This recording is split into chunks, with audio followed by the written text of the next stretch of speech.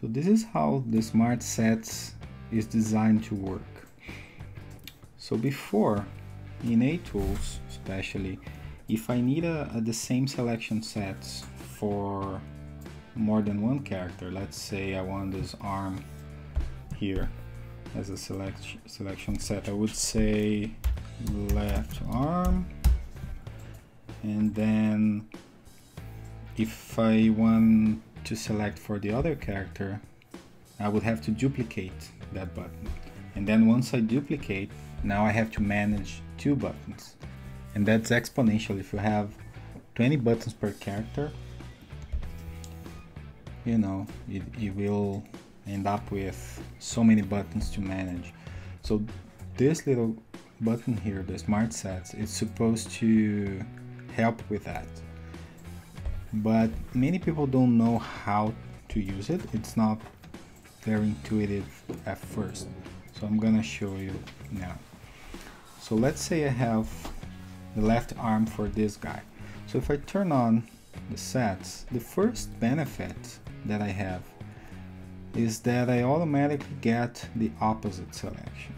So I only need to manage one side. That's the, the first one. And the other one, I also get the other character selection as well for free.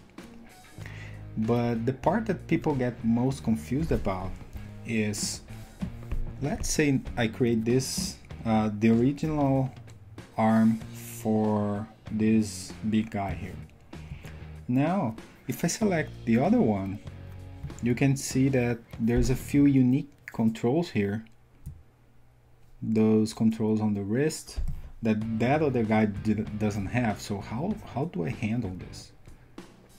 So the way that you do this is that you need to include those controls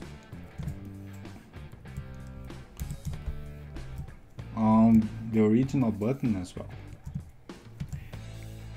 And when, when you do that, the idea is that you you don't use the original buttons anymore. You just use the ones on the tabs. Once these ones are just meant to be the source for those. So I'm gonna add this here. And as you can see now, this button here it's going to select that arm and those buttons here as well. But now if I go here on the smart tabs, now it's selecting everything and I get the, uh, the opposite for free as I mentioned as well.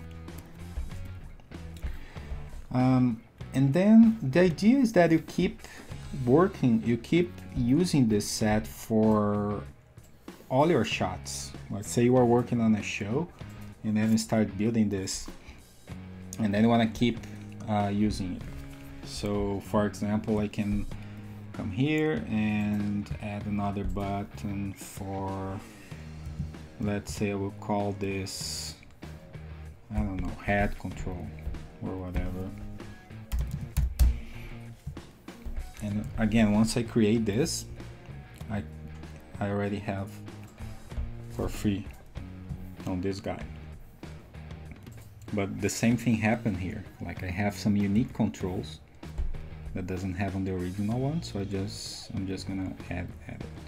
And it doesn't aff affect the other guy. So it keeps filtering by character and then you can keep like feeding and so right now I would have already uh, one button for for the right arm one button for the left one button for the head in the old way for two of those. I will have already six buttons to manage, but I only have two. So that's the that's the idea. So let's say now I wanna transfer this to another shot. So the easiest way is the quick export. So once I do that, I can go to another Maya and I have two different characters here. And I can go and say quick import and now I have my my buttons there. As you can see like there's nothing to select here on that shot. So let's open the smart tabs and see what I get so I have this one there's no button at all. This one I have I have something like head and the arms. And again like I can keep updating this here by including the controls. And I don't need to be very picky about it. I just can grab like in this case I can just grab a bunch of controls here. And then I say add selection. And then I will already get this and the opposite for that. And look at this case here. I have a completely different rig.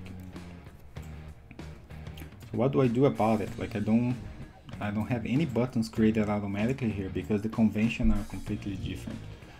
So the same idea, like I, for the arm, I can grab all of those controls here for this character and I'm going to include it in the same button there.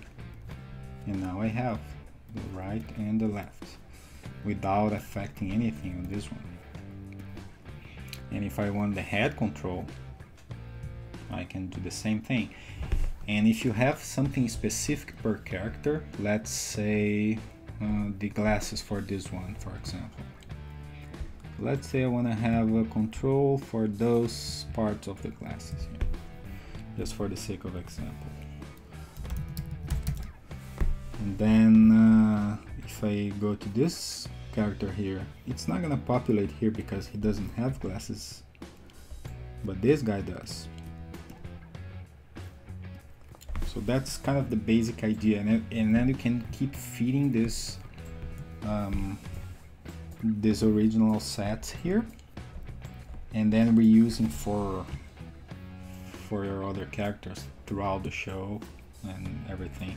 And one cool thing about it is that you don't need to actually go to the character tab and click on it if you don't want. Like if you select a bunch of controls here, it's going to pick automatically for you based on the selection that you have. And that's pretty much pretty much it. I hope that helps. See you on the next video.